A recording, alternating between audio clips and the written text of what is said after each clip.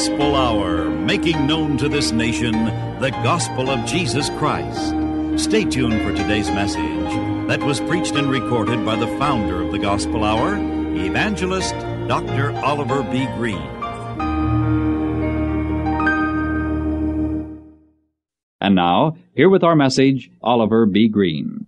Have your Bibles open at Revelation chapter 2, and we'll continue studying the seven churches we'll take up where we left off on the last broadcast. Direct us, Father, today, in Jesus' name, as we study, may thy will be done.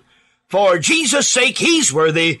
Amen. On the last broadcast, we finished up the discussion of the message to Pergamus. Now let me review briefly, and I mean very briefly.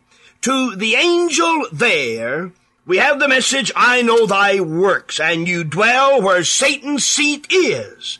Then he goes on and he commends them, and then he says to them, I have a few things against thee. Uh, they had the doctrine of Balaam, and they allowed the doctrine of the Nicolaitans. Now, we discussed that. We talked about the doctrine of Balaam, and then we talked about the Nicolaitans. They were mentioned earlier in the chapter. Then we hear the cry, repent, repent, or else I will come unto thee quickly and will fight against them with the sword of my mouth. And we know, of course, that is the word of God, quick and powerful and sharper than any two-edged sword. Now all God needs do is speak the word. God does not need any atomic or hydrogen bombs. He does not need any guided missiles. He does not need any jet fighters or bombers. All God need do is speak the word. The Lord spoke and the earth melted, so the psalmist tells us. Now when God speaks, that's all that is necessary, and judgment falls. Then, verse 17, he that hath an ear, let him hear. And of course, we talked about that and talked about the white stone and the new name. Now today, the message to Thyatira. Now, Dr. Scofield in the chapter division now, this is not inspired and doesn't claim to be. The notes and the divisions and the center references and the, the things that we have in the Scofield Bible that were put there by this great teacher and God did give him. God gave Dr. C.I. Scofield a great understanding of the Word of God and he was a great scholar. The Scofield Bible is a King James Version. Many have written to me and they've said, Brother Greene, what version is the Scofield? Now, many think because it has the name Scofield Bible that it's a Scofield translation, but that's not true. It has notes and chapter divisions. For instance, you who have a Scofield Bible, you see that each church that is, at the beginning of the message of each church, we have a division, and we read there in his notes what we're going to study in the next verses. And that helps, especially a young Christian. So this period ran from about 500 AD to 1500 AD. Now, let me say this again. I've said it many times, but you just keep this in mind. Whereas most of you know everything that I'm saying. Most of you know everything I've said during the study, but there are many who do not. So we are, we are studying Revelation for the benefit of all, but primarily young Christians and those who've never had the opportunity to study it verse by verse. Now I'm saying again, the message to these seven churches, the message was directed to each church that had the name that's given here in Asia Minor. There, there were seven churches by the names given here, and there were other churches, not only seven, but there were others, and this message was to that local church, but it goes beyond the local church, and in chapters two and three of Revelation, we have the history of the church from Pentecost to the rapture in advance. God writes history in advance. Man writes it after it occurs. But the Bible is just as up to date as the next history book. The Bible is just as up to date as tomorrow morning's headlines. The Bible is just as up to date as tomorrow morning's sunrise. Now you remember that. Don't you ever forget that God writes history in advance. And everything the Bible prophesies has occurred or is occurring or will occur as declared. Now the message to Thyatira. Under the angel of the church in Thyatira, these things saith the Son of God. Now we know who that is. Jesus, the head of the church, who hath eyes like unto a flame of fire. We read about that in chapter one his eyes like a flame of fire, feet like unto fine brass. We read that back in chapter one. I know thy works. Every church, I know thy works. I know thy works. Yes, God knows your work. God knows my work. He knows all about you. I know thy works. And I know cha- your charity and service and faith and patience and works and the last to be more than the first. Now they were a working people. Now, I believe in good works, and we are created in Christ Jesus unto good works, and faith without works is dead. Now, living faith produces works. We do not all work the same works. We do not, we, all of us do not the same amount of work. Some do greater works than others, but if you do what God calls you to do in the eyes of God, your work is just as great as mine, my work is just as great as yours.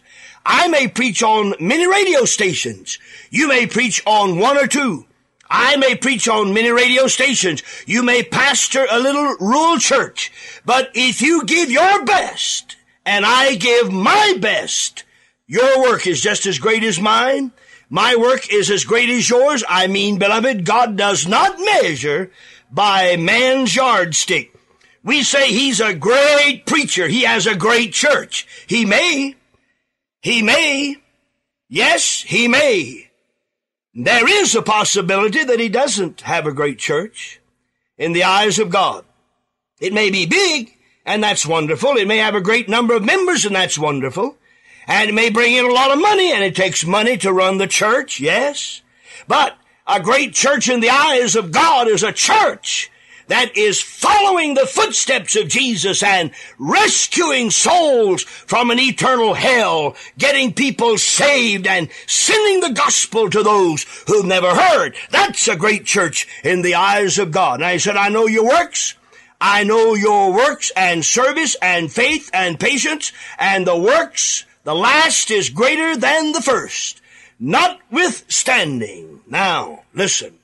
I have a few things against thee, because thou sufferest that woman Jezebel, which calleth herself a prophetess to teach and to seduce my servants to commit fornication and to eat things sacrificed unto idols.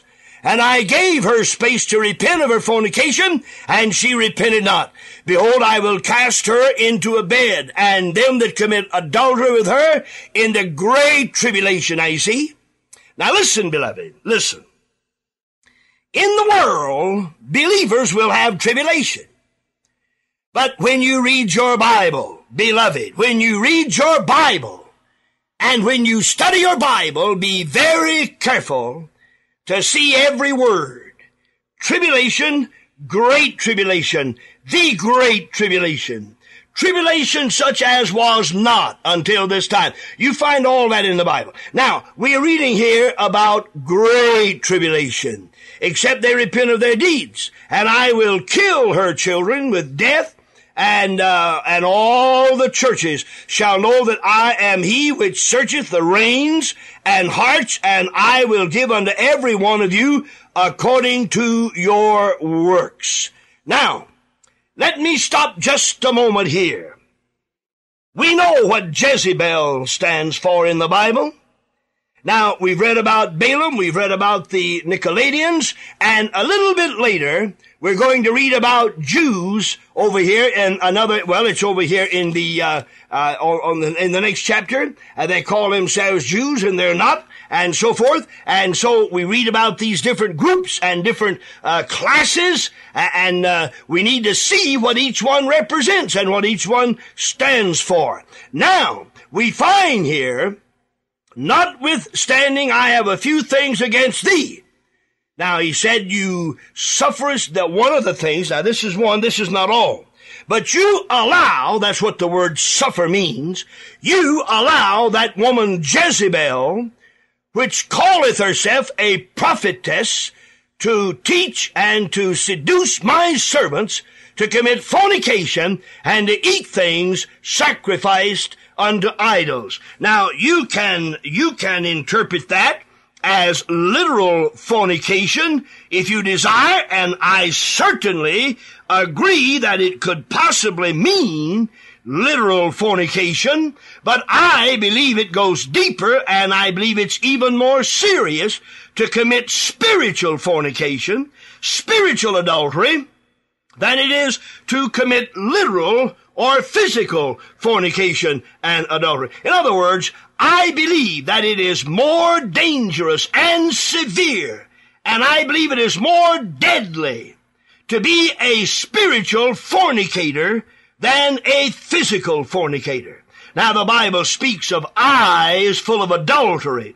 And James tells us that to be a friend of the world is to be an enemy to God. And then he goes on to say, these people that are worldly and love the world and they're friends to the world and participate in the world and they, uh, they, uh, mix and mingle and fellowship in the things of the world, he says they are spirit, they are committing spiritual adultery. Now, I say again, they, you can say here that it is speaking of literal fornication, the prophets committing fornication literally, but I believe it goes deeper, even though they may, some may have been guilty of committing fornication. I believe he is speaking in the deeper sense of spiritual fornication. Now let me show you, let me tell you why I believe that. I have a few things against thee because thou teach that suffers that woman Jezebel teach. Now, here's what he said, and to seduce my servants to commit fornication, comma, and to eat things sacrificed unto idols. Now, uh, that, uh, of course, idolatry and being a friend to idolaters is certainly spiritual fornication and spiritual adultery. Now, let me say this, and I know that I am on dangerous ground when I begin speaking about women and their place in the church. Now, let me say this. I think this is a good place for me to make something clear. We get many letters, many letters from dear people in Radio Land, and they ask us to help them settle a church difference. Now listen, I'm not a compromiser. And if something comes up in my church, where I belong, where I live, where I attend, and I know the circumstances, I'll take a stand if everybody in the church turns against me. I'll take a stand. But beloved, when someone writes me 2,000 miles, and they do, from Greenville, South Carolina, 500 miles, 200 miles, or even 100 miles, or even 50 miles, and I know nothing of the situation, I've never been in the community, I do not know the pastor, I do not know the precious people, then you are just a little bit unfair to ask me to help you settle a church dispute about things that are not pertaining to the cardinal truths of Christianity and the fundamentals of faith. Now, you say, Brother Greene, my preacher preaches the, against the virgin birth. What do you think? It won't take me a half a minute to tell you what I know. You should get out of that church, and I mean get out now. You say, Brother Greene, my preacher doesn't believe in the shed blood as the only remission of sin. My preacher says that you can be saved apart from the blood. What should I do? What do you think about it? It don't take me 30 seconds to tell you what to think about it. I'll tell you to get out of that church and get out quick. Don't go back. Write, call. Don't even ask for a letter. Just write them or call them, tell them to drop your name. You don't want a letter. You don't want a letter from a church like that. What do you want a letter from a church where they don't believe in the blood? Bless your soul. But now, wait a minute, wait a minute now. You write me a letter and you say, Dear Brother Greene, there is a girl singing in our choir and we feel that she does not dress as becoming a Christian. Don't you think our pastor should forbid her singing in the choir? Well, now you see, I write you a letter and I say, certainly get her out of there. Now I don't know a thing about that girl. She may be dressing indecently. She may be just a babe in Christ. Here's the whole thing. If the choir director and the pastor are spiritual, they will handle the thing without any outside help. And if they're not spiritual, they'll resent anything I say and be more determined to keep her in the choir and put some more in there like her. Now, I'll take a stand with anybody, anywhere, anytime, under any circumstances when it comes to the cardinal truths of the Bible and Bible doctrine. But I can't, I cannot help settle your church differences when it has to do with people singing in the choir or other things that has to do with individuals and your pastor. After all, you called him to be your pastor, and if he's not what he should be, don't ask me to tell you to get rid of him. If you're the kind of a Christian that you ought to be, you won't need to ask me.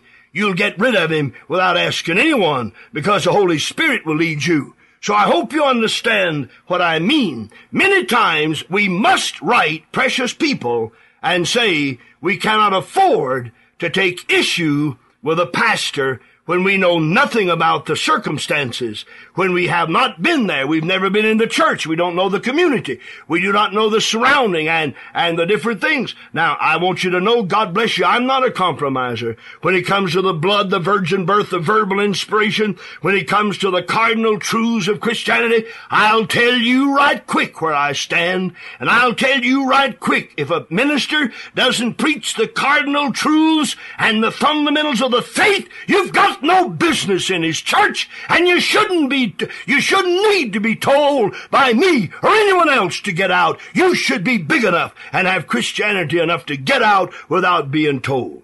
Now, I hope you understand. I hope you understand. Now, at Thyatira, they let Jezebel stay in there. Now, of course, it wasn't the literal Jezebel that was back there, and Jehu threw out the window, and the horses and chariots trampled her until they didn't find anything but the palms of her hand and the soles, palms of her hands and the soles of her feet. It wasn't that literal Jezebel, but the spirit of Jezebel. And it was fornication and idolatry. And we have a lot of spiritual fornication today. For a believer to be a friend of the world for a believer to be a friend to the enemies of Jesus Christ is to commit spiritual fornication. And of course, to partake in idolatry in any form, to partake of idolatry, or to support or sanction idolaters, that is, any worship that is not directed fully and entirely to Jesus Christ, that's wrong and you'll pay for it. Now ask yourself the question, what kind of a church am I in and what kind of a minister am I supporting? Father, honor the word, the name of Jesus, the shed blood, and save souls and help believers to support a man and a church that stands up for the truth and the truth alone. In Jesus' name, He's worthy. Amen.